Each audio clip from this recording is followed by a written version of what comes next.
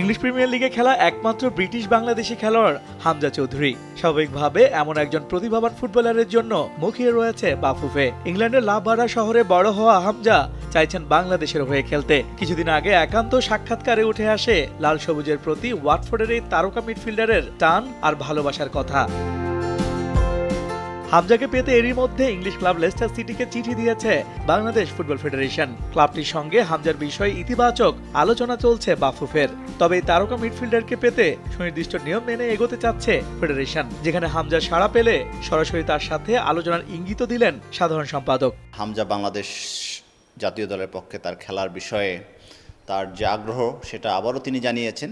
সম্প্রতি আবার চিঠি পাঠাই এবং যেটার ফিডব্যাকও আমরা পাই ক্লাব থেকে আমাদেরকে অ্যাকনোলেজ করা হয়, চিঠিটা তারা পেয়েছে। ইন দ্য মিন টাইম আমরা ক্লাবের ফিডব্যাক নিয়ে আমরা চেষ্টা করছি হামজার সাথে ডাইরেক্টলি ওর এজেন্টের মাধ্যমে হোক বা সরাসরি তার সাথে কথা বলা যদি যায় বা তার সাথে অ্যাপ্রোচ করা যায়।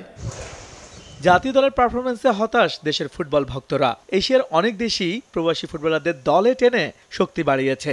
সেখানে বাফুফে কোন পথে হাঁটছে, তাই তো শুধু হামজা নয়। ইউরোপ কিংবা আমেরিকায় থাকা আরও প্রবাসী ফুটবলারদের প্রতিও আগ্রহের কথা জানান এই কর্তা। যে কোনো খেলোয়াড়ই হোক, সেটা আমাদের বাংলাদেশ জাতীয় ফুটবল দলের জন্য ভ্যালু অ্যাড করতে পারে। আমরা সবসময় এই বিষয়গুলো নিয়ে কাজ করতে ইচ্ছুক। আমাদের টেকনিক্যাল ডিপার্টমেন্ট আমাদের কোচিং স্টাফরা সবসময় কাজ করে।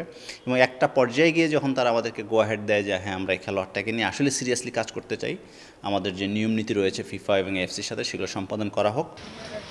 ডেনমার্ক প্রবাসী জামাল ভুঁইয়া দলের অধিনায়ক। ফিনল্যান্ড থেকে তারিক কাজী এসেও জায়গা করে নিয়েছেন। এবার হামজা চৌধুরীর মতো ফুটবলার যুক্ত হলে হয়তো ভাগ্য বদলে যেতে পারে লাল সবুজদের।